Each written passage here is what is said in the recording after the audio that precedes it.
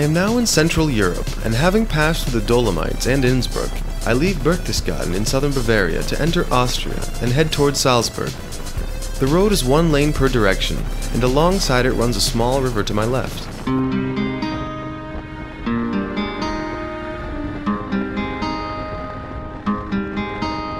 The distance is only 26 kilometers, and I need about 40 minutes to get there.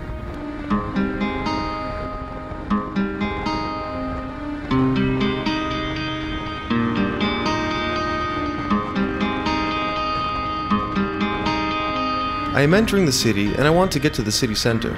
Although I had visited in 2010 and have a GPS, I'm a little bit confused and get a little lost finding my way.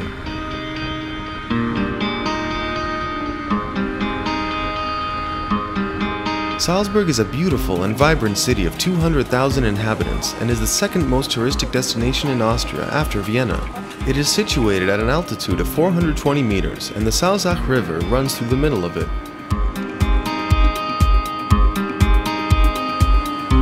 The name means salt castle, as many centuries ago the mining of rock salt, which was the white gold of this period, contributed to the local economy's flourishing. A fact which gave the city a fancy style which it has kept true to even today.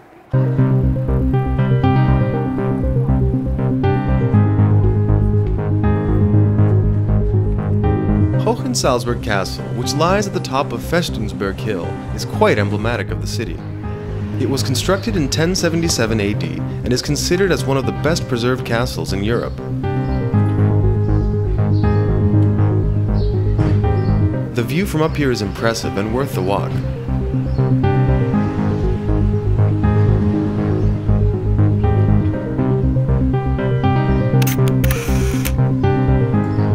You can reach the castle by cable car.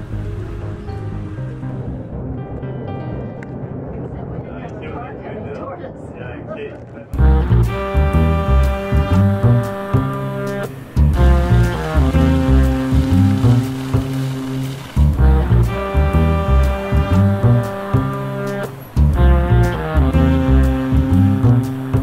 old city has very ornate architecture that mixes between Baroque and Renaissance and is particularly beautiful, but it's usually too crowded.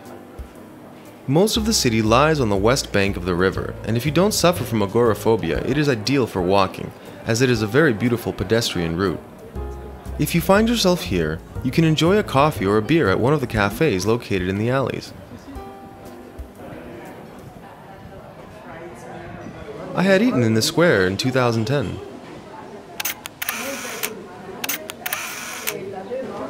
Salzburg has many museums and attractions, but because my time was limited yet again, I did not visit any of them.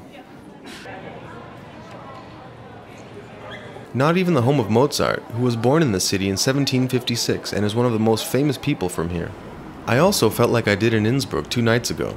Before I came to this city, I had heard so many nice things and expected to see something magical, but I can't say that I did.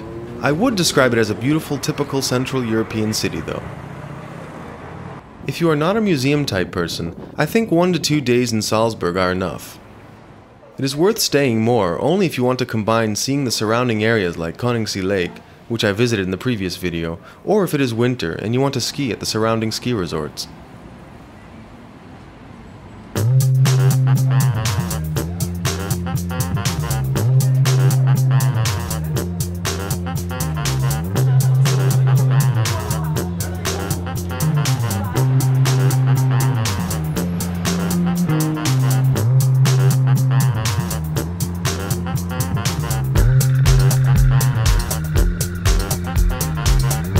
My next stop after Salzburg will be at Lake Hallstatt, the most photographed area of the Austrian Alps.